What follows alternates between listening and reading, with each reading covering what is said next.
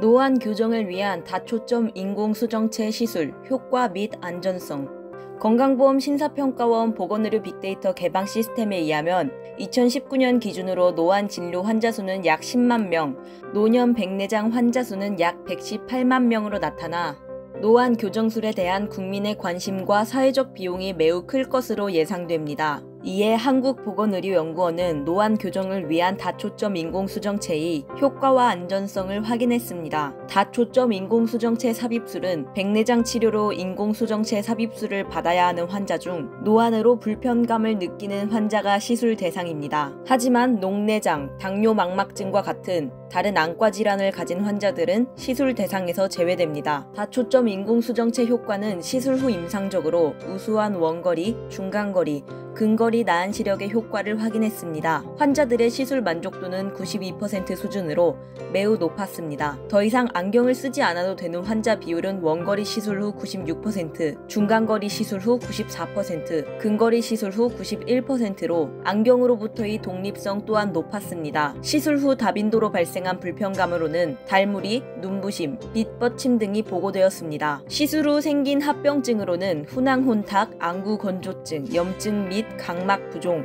자녀 굴절 이상으로 인한 추가 교정 시술 등이 보고됐으며 개인차는 컸습니다.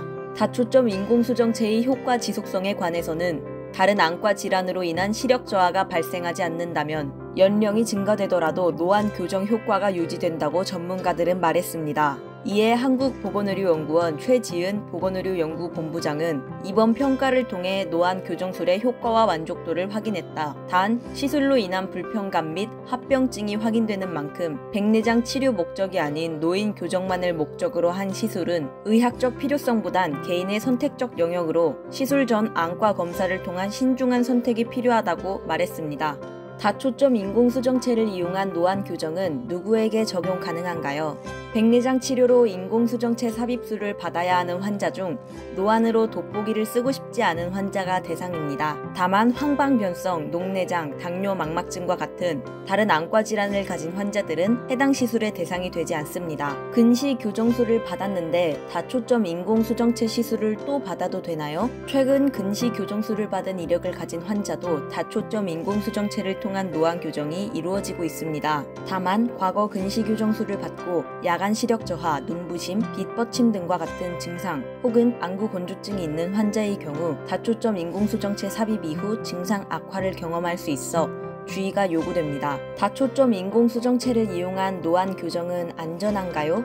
다초점 인공수정체는 망막에 여러 개의 초점이 맺혀 달물이나 눈부심 현상이 흔한 부작용으로 알려져 있습니다. 따라서 야간 활동이나 야간 운전을 많이 하는 경우 다초점 인공수정체 시술 전에 시각 관련 불편감의 발생 가능성을 고려해야 합니다. 또한 다초점 인공수정체에 대한 대다수의 연구에서 수술 관련 합병증이 발생하지 않았다고 보고하였습니다.